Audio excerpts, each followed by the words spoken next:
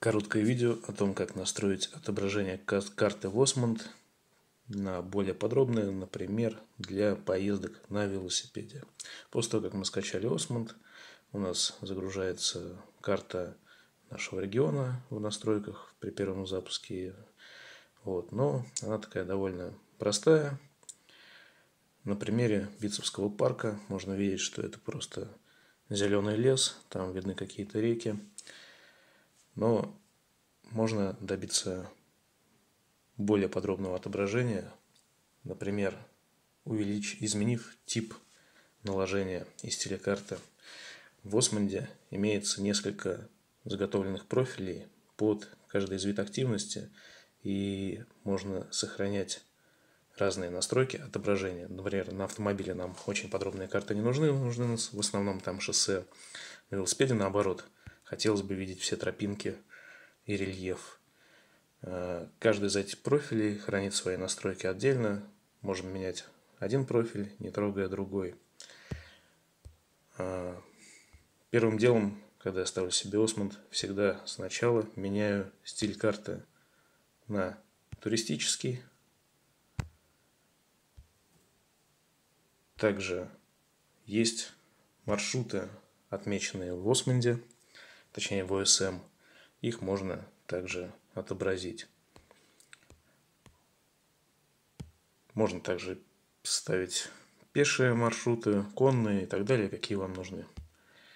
Есть отображение дорог более подробное, например, чтобы был виден тип покрытия, он будет штриховыми э, линиями цветом отображаться, и качество дорог. То есть те дороги, которые будут красные, вы там, скорее всего, только на внедорожнике проедете, или придется велосипед обносить по лужам. Ну и ограничение доступа тоже иногда помогают, когда какой-нибудь шлагбаум забор, чтобы не проложить маршрут туда, где вы не пройдете, тоже можно поставить. Вот. После применения таких настроек мы видим, что наша карта значительно поменялась появились всякие тропинки. Вот здесь цветом обозначены всякие велосипедные трейлы, синие, зеленые, красные, даже написаны их названия и так далее. Но можно добиться еще более подробного отображения, включив слой рельефа местности и линий высот. На равнине такое не всегда как бы полезно, а в горах сильно упрощает жизнь. Чтобы добавить слой рельефа местности, надо загрузить отдельные карты. Чтобы загрузить новые карты, можно как бы отдалиться и выбрать регион. Вот сразу появляется такое меню. Нажимаем Московская область, прочие карты и скачиваем рельеф местности.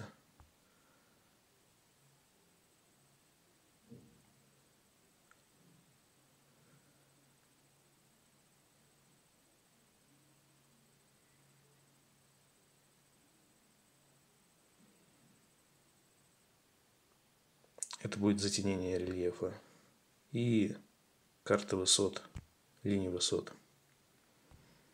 Карты линий высот э, нам помогают также, кроме отображения этих линий, рассчитывать э, высоту построенного нами маршрута, то есть набор высоты. И дальше мы включаем эти два отображения, слой рельефа местности – и контурной линии. Можно задать масштаб, начиная с которого будут отображаться эти линии. Смотрим теперь на нашу карту.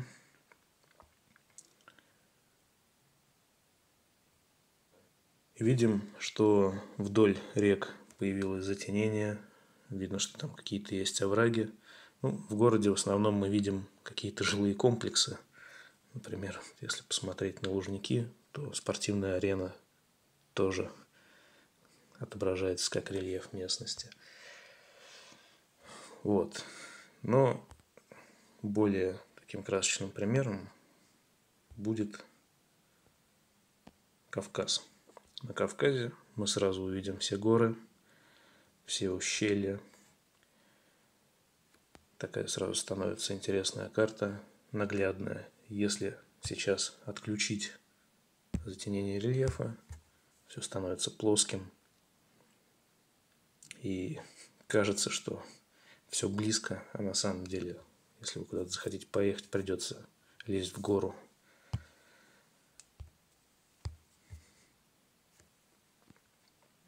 Если мы приближаемся, то уже видны и линии рельефа местности с подписанными высотами.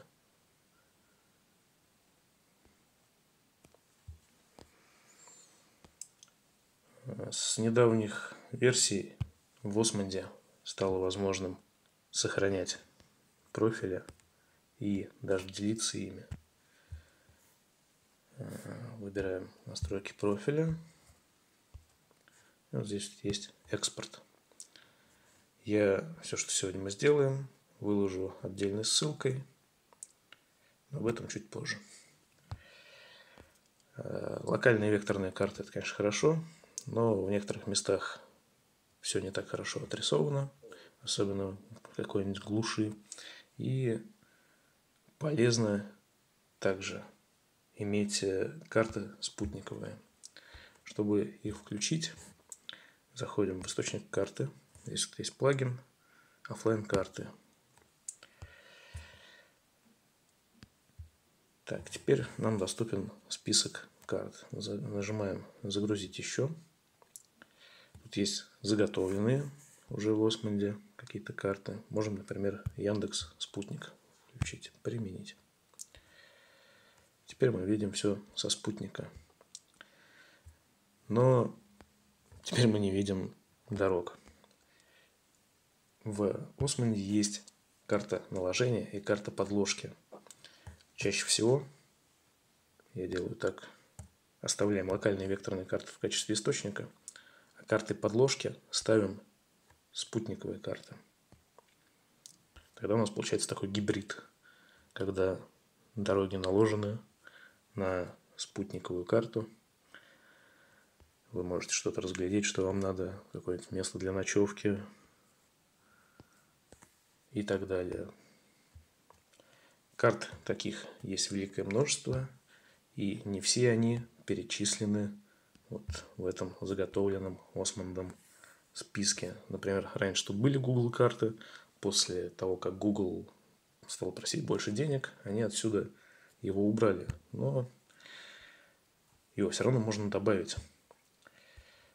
Есть сайт с картами для Осмонда. Ссылка на него будет под видео. Здесь можно найти все, что душе угодно. Например, вот мой любимый Google Гибрид. Скачиваем, открываем в Осмонде. Вот у нас появился теперь здесь Google Гибрид.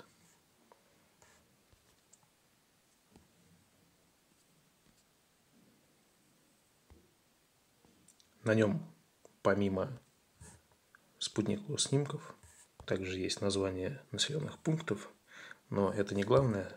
Также видны магазины и прочие важные объекты, которых может, которые могут быть не отмечены в Осмонде. Кстати, по поводу отметок магазинов, важная вещь.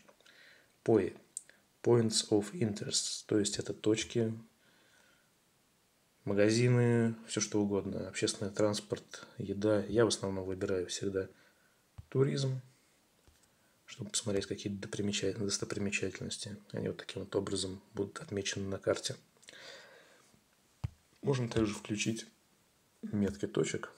Сразу у нас будут подписаны эти пои. Вот, либо можно, если мы ищем магазин, включить продуктовый магазин или супермаркет сразу видны магазины. Также можно выделить несколько типов.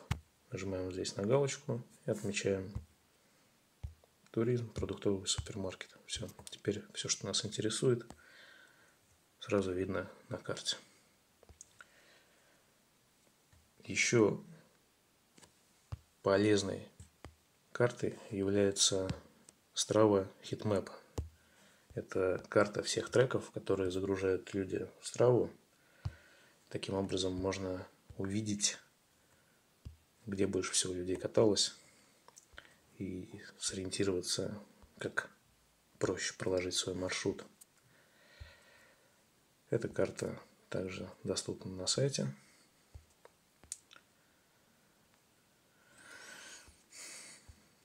Вот. Для бега, для велосипеда все слои. Ну, для сейчас я сейчас возьмем для велосипеда. Вело HD.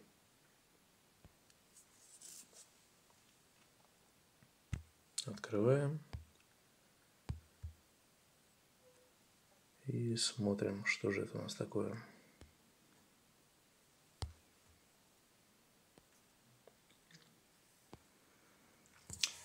Вот теперь наглядно показано, где чаще всего и люди ездят, там более жирные и светлые линии.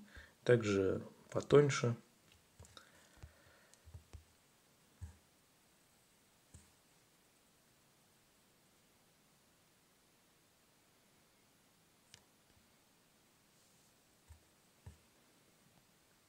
Данная карта может быть полезна уже непосредственно при планировании маршрута. И ее мы ставим источником наложения. Источник наложения Strava, источник карты локальные векторные. Теперь у нас как бы три слоя.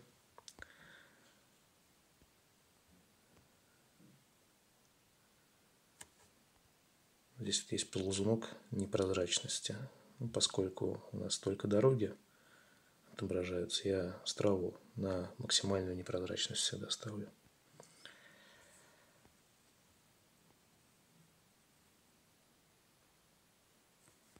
Возвращаюсь к нашему Битцевскому парку.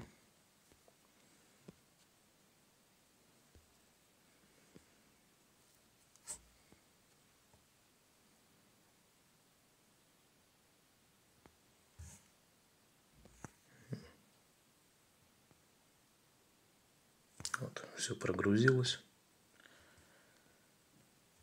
Теперь понятно, по каким оврагам чаще всего ездят велосипедисты. Видны тропинки. Ну, здесь несколько, наверное, уже излишняя информация. Но основной принцип, думаю, понятен.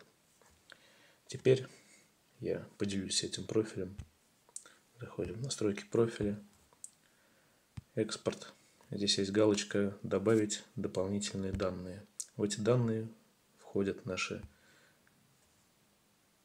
нестандартные слои с картами. Я включу также их в этот экспорт. И человек, который у себя просто откроет файл этих настроек, у него сразу будут доступны эти же слои. То есть их придется скачивать, естественно, но настройки будут уже готово.